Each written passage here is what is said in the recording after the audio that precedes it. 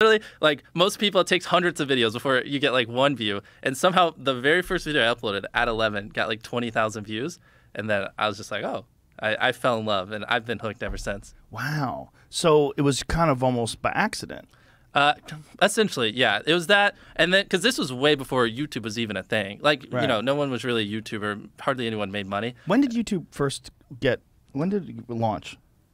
Like 2006 or whatever. yeah, YouTube was a seven. thing, but like the partner program wasn't really a thing. No one was making money, uh, Right. and it was definitely back before it was cool. Like when I was doing YouTube when I was 14 and 15, like it. Now, you know, it's cool if you want to be a YouTuber in high school or middle Yeah. school. Back then, like, no one gave a fuck. You know what I mean? It was like, you're just worried they would try to play your videos in class or, or make fun of you or stuff like that for it. So, but it, how did it evolve to what it is now? Was it a, a vision? Was it a slow, sort of a gradual increase in numbers? And Yeah, I mean, it's about as slow as it gets. Uh,